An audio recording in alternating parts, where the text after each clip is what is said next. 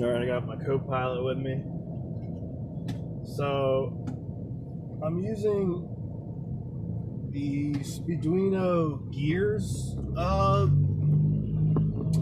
I'm using an Arduino with gears on it by I believe the guy's uh, tag is Daz.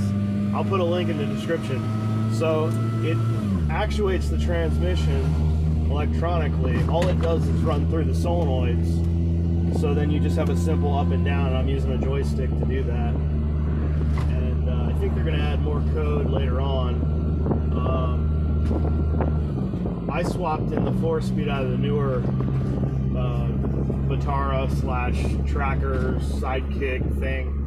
Um, I needed overdrive and a stronger transmission. The uh, TH180 just didn't hold up to the power, and I, I probably could have modded it, but this transmission's a lot better having overdrive. Um, but it shifts really, really nice.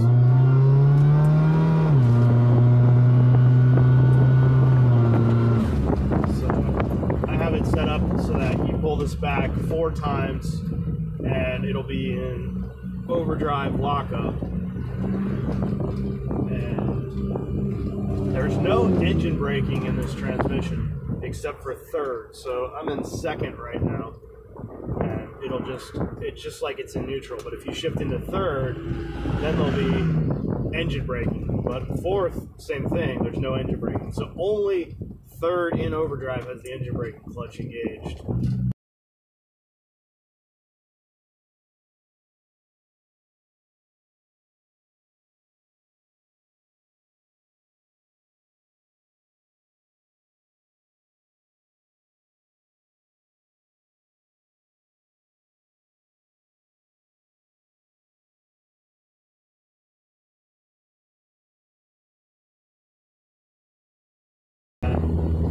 Can essentially configure it to do any transmission.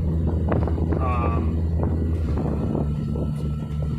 but this transmission shifts the same as what would come in a Toyota Supra automatic. But we'll, we'll get up to some open road. I can get on it a little bit. A lot of traffic out this morning. It's a little cool. We're in North Carolina here, and uh, we got our first nice couple days here in the spring. It's about 55, 60 Fahrenheit out this morning. Um, should get in the 70s this afternoon. I only know the, uh, I don't know what the Celsius conversion is on that off top of my head. So we're in, what area? We're in first transmission has a, a, TV valve which modulates the pressure based on throttle position. So anyway, we'll give it some gas here.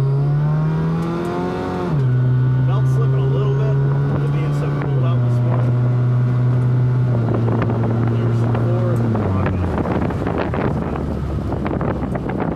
And I have the, uh, I did the accumulator mod. It's really popular in the uh, Volvo community you essentially take the three accumulators out and put a shim in them so they don't have as much travel. And it makes it change gears a lot faster. Um, so really the only delay is you can hear the relays click. And there's a slight delay between that the relay applying power to the solenoid and actually the fluid actually changing the gears. But it's still better than most shift up shift down in a factory first. But it is absolutely awesome. It shifts so good.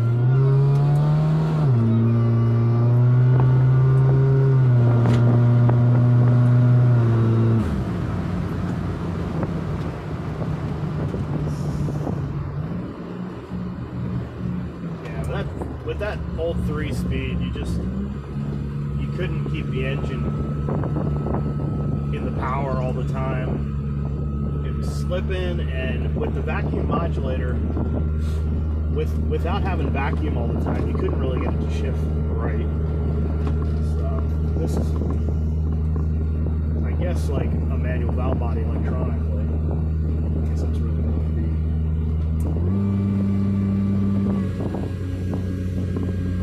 But if you're barely on the gas with the with the TV valve.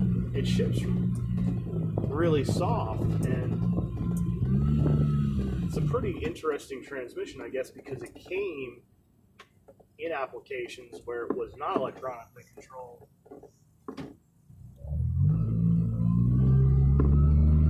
But this would be great for anybody building a trail rig